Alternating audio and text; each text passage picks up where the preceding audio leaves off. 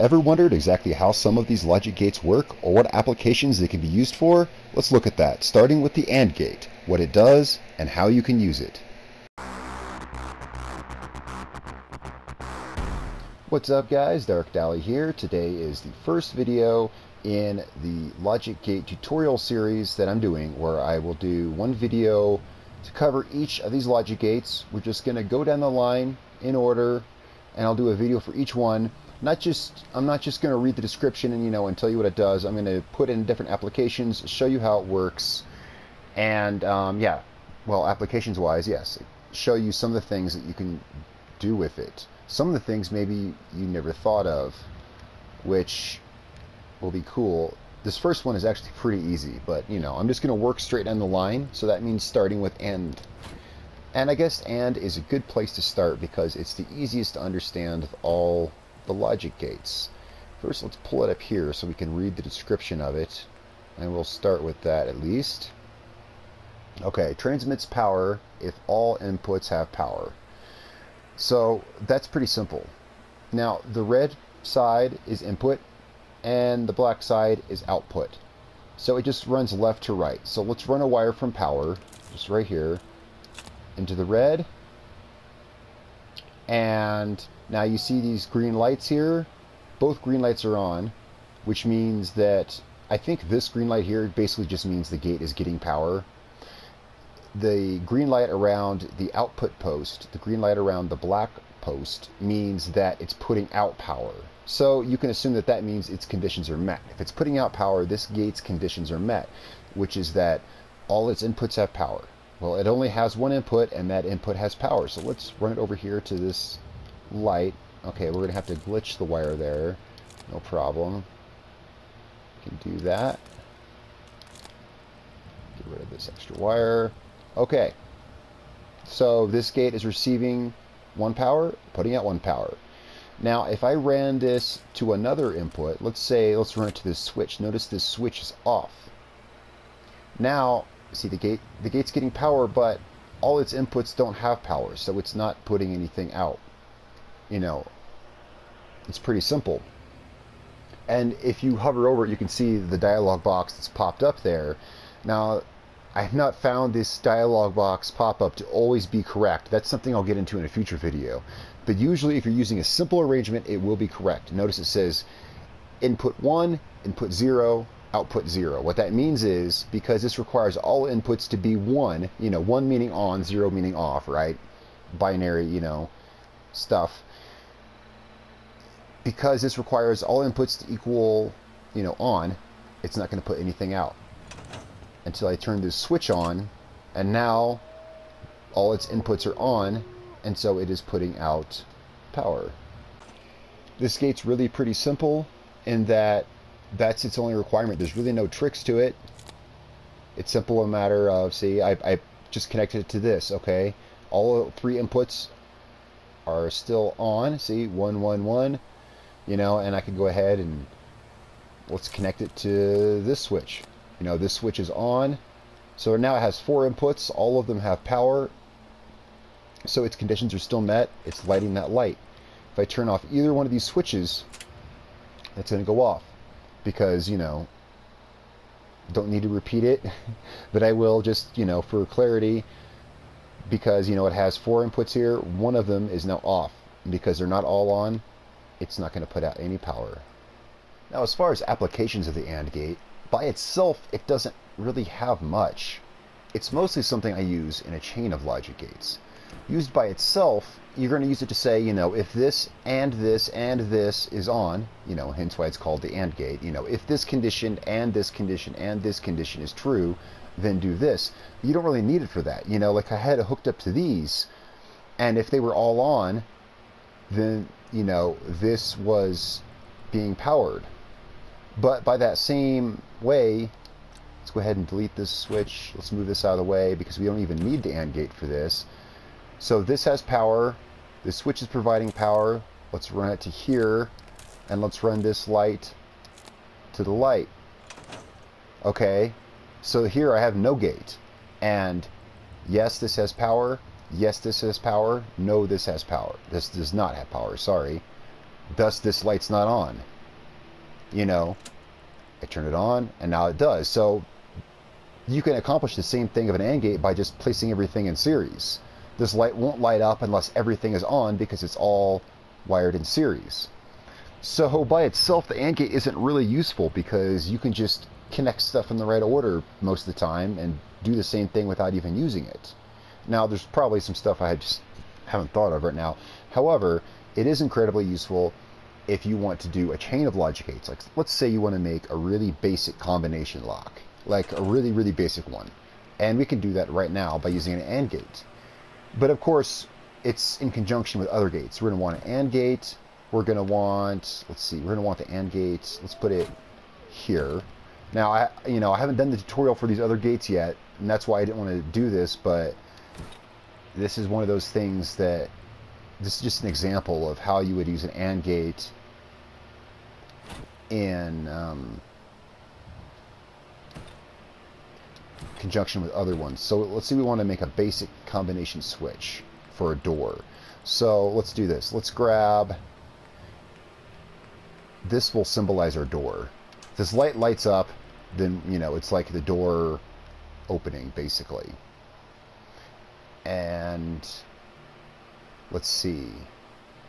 We actually want another AND gate. Let's grab another one for here. And let's actually place another one right here. So I'm going to make a basic combination lock with three AND gates and a NOT gate. And I'll show you why. And actually this is a decent example because one of these AND gates is used in a different way. Here's one way you can use one. You can use an AND gate to power a NOT gate. Now I'll get to NOT gates. Don't worry about that. You know, I don't. This is just an example of how you would use AND gates. So let's put no. Let's put this out to here. Now we want to give. Let's see. Let's give the AND gate power, but not. Uh, let's make switches for our door, and I'll show you where I'm going with this basic switches right here. So let's have a basic combination lock door. Let's just put three switches. And let's power all the switches. Of course it's going to do that.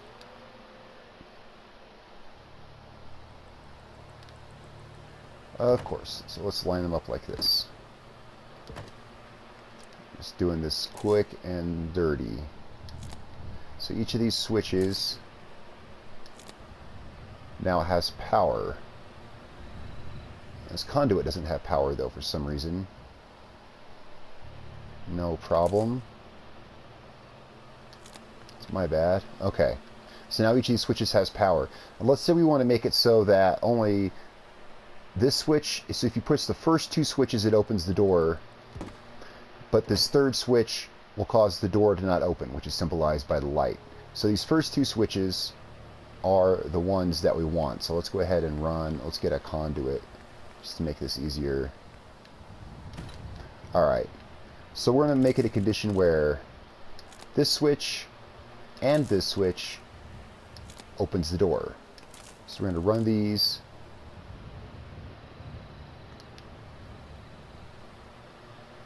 to there now, actually, we want to run them straight to there because that conduit compresses them down into one thing. Okay. We're going to want to run the switches separately to the door. There. Now, if you hit one of these switches, the AND switch deactivates. Okay.